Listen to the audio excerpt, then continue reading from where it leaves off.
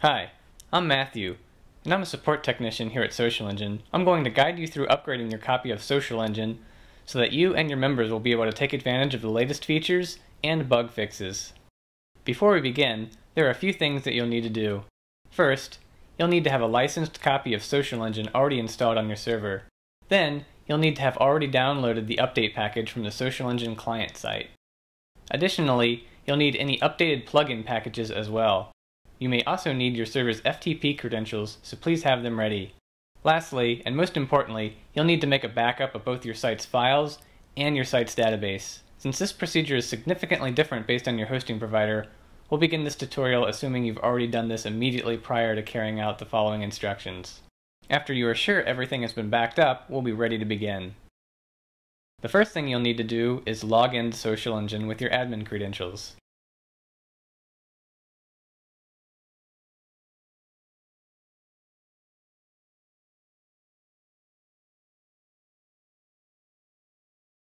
Then, navigate to the Admin panel.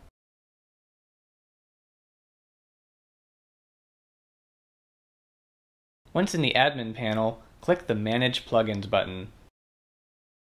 You are now in the Social Engine Package Manager. This is where you can see which modules and plugins are installed and enabled, as well as what version they are. Please note that you will see many different version numbers next to the different modules. This does not necessarily mean that a module is out of date.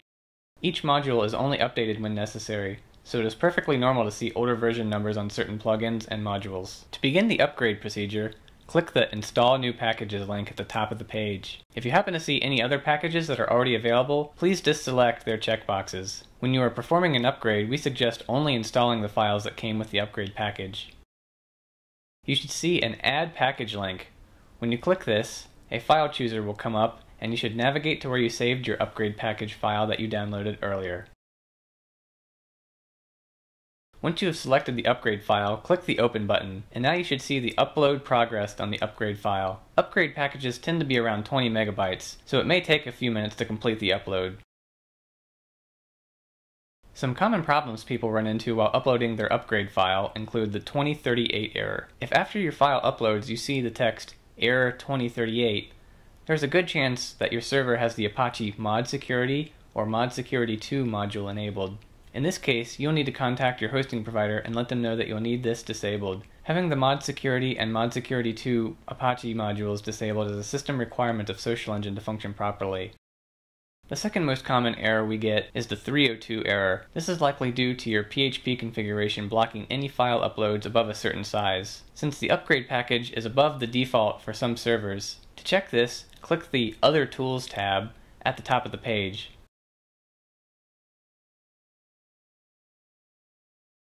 Then click PHP Info.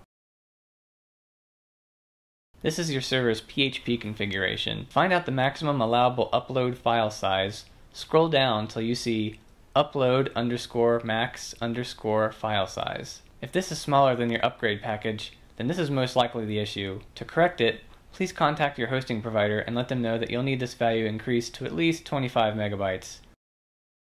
Another common issue is that your folder permissions are not set correctly. For further instructions on how to correctly set your folder permissions, please see the Social Engine installation tutorial video. Once the upload has completed, it will automatically extract itself, and you will see many packages appear. Leave all of these selected and click Continue. You will now be shown a list of actions that will take place. This explains which packages will be upgraded and which packages will simply be refreshed.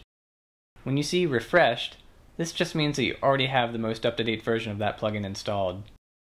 Then, you will also see System Requirements Check. This is to make sure that your server and current installation meets the needs of this version of Social Engine. Again, any items that you see in yellow boxes are no cause for alarm. These are simply improvements you could make. But if you see any boxes in red, You'll have to take care of these before proceeding. The most common red boxes we see appear are due to folder permissions not being set correctly. Again, to see how to correct these, please see our Social Engine installation tutorial video. Also, you may notice that a certain Apache or PHP module is not installed or enabled on your server. In this case, you'll have to notify your hosting provider. Once everything is ready, click Continue. You'll now see the FTP info screen. It is a good idea to select FTP or FTPS from the drop-down menu and enter in your FTP username and password. You can leave the host as 127.0.0.1 since your server will technically be talking to itself. You don't have to adjust the FTP path as long as you select Search for Social Engine. When this is checked, the installer will automatically find where to put the necessary files. And also, remember to click the SFTP box when you will be using an SFTP connection. Then click Continue. If your FTP connection fails, the first thing you should do is change the FTP host to the host address that your hosting provider gave you. And if that doesn't work, go to the FTP connection type drop-down box and select None. You'll still be able to proceed with the upgrade. This is sometimes necessary when a hosting provider prevents PHP scripts from making FTP connections due to security reasons. When you click Continue, you'll now see a count of how many files that will be copied during the upgrade. You can click Continue to proceed. You'll now get a confirmation letting you know that all the files have been successfully placed. Again, click Continue to proceed. Next, you will see a count of all the MySQL database queries that were made and that they succeeded. Now click Finalize Installation. You have now successfully updated your copy of Social Engine. You'll next want to make sure all of your plugins are up to date as well. For further instructions on installing plugins, please watch our plugin installation tutorial.